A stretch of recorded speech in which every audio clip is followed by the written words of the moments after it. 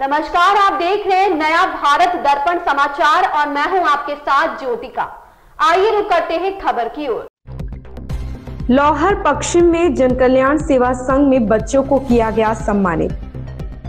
प्राथमिक विद्यालय लौहर, पश्चिम में रविवार को जनकल्याण सेवा संघ की ओर सामान्य ज्ञान प्रतियोगिता में शामिल बच्चों को पूर्व सपा विधायक अनूप संडा ने शील्ड मेडल व प्रशस्त पत्र देकर सम्मानित किया। जन कल्याण सेवा संघ के संरक्षक डॉक्टर उदय नाथ यादव की अगुवाई में 31 दिसंबर 2023 को सामान्य ज्ञान प्रतियोगिता का आयोजन कराया गया था, जिसमें ज़िले के 17 विद्यालय में से 300 बच्चों ने प्रतियोगिता में प्रतिभा किया था। रविवार को प्राथमिक विद्यालय लौहर पश्चिम में पुरस्कार कार्यक्रम आयोजित किया गया, जिसमें प्रथम ऋषि यादव, द्वितीय गरिमा सिंह व अनुज प्रताप यादव, तृतीय निखिल यादव बच्चों को शील्ड देकर सम्मानित किया गया।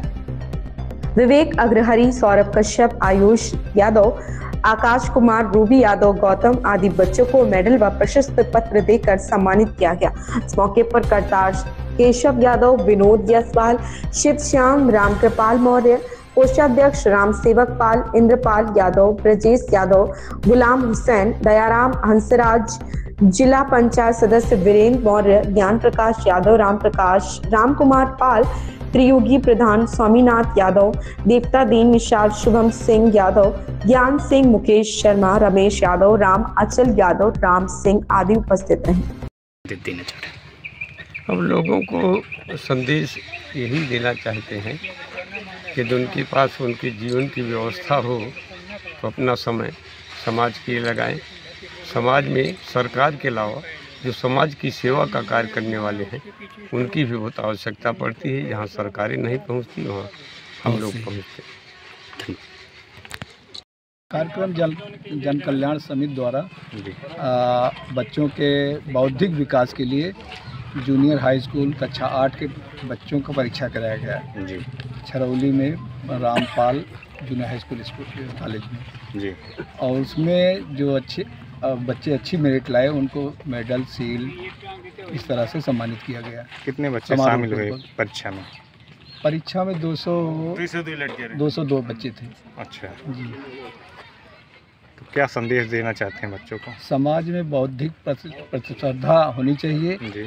बच्चों में कंपटीशन हो जब कंपटीशन होगा तभी बच्चे आगे बढ़ेंगे। बौद्धिक स्तर उनका ऊँचा होगा। समाज को क्या संदेश देना चाहते हैं? समाज में एक प्रतिस्पर्धा हो कि पढ़ाई के प्रति और बच्चे आगे बढ़ें। समाज के प्रति समर्पण हो उनका। समाज के विकास में समाज के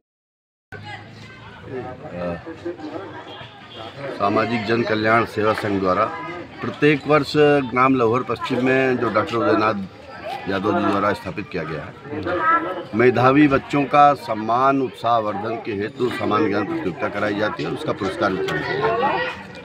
आज वही कार्यक्रम था और उस कार्यक्रम में जो बच्चे आए हैं, उनके भविष्य के लिए मैं अपनी तरफ़ से बहुत बहुत शुभकामनाएँ देता हूँ।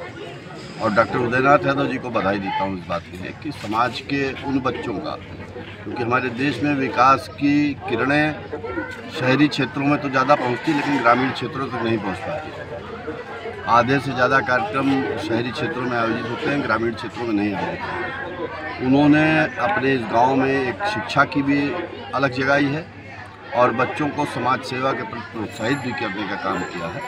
मैं उनको बधाई देता हूँ और बच्चों को पुनः शुभकामनाएँ देता हूँ।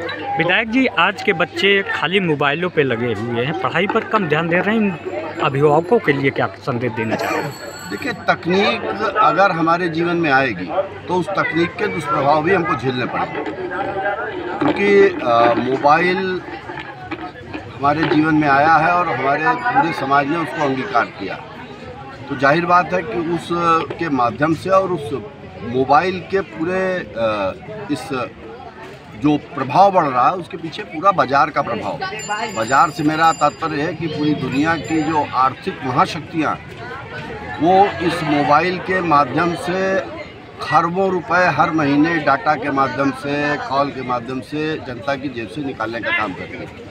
और बच्चों को उसके बारे में, उसके आदि हों, लती हों, इस तरीके के तमाम उस पर कंटेंट ऐसी सामग्री भेजी जाती है कि बच्चे लगातार उसमें व्यस्त रहते हैं तो उस तकनीक को अगर हम अपने जीवन में लाए हैं तो उसके दुष्प्रभाव को भी झेलना पड़ेगा। लेकिन मैं ये अपील ज़रूर करना चाहता हूँ बच्चों से कि मोबाइल पर इस्तेमाल का समय अपना सीमित करें एक नियमित समय कर दें उसमें इस्तेमाल करें। तो उससे निश्चित तौर पे उनको अ, शिक्षा में के लिए भी पढ़ाई के लिए भी समय मिलेगा। और वो सामग्री देखें जो सामग्री उनकी शिक्षा के लिए उनके ज्ञानवर्धन के लिए इस खबर में बस इतना ही मिलते हैं दूसरी खबर में नया भारत दर्पण समाचार के साथ।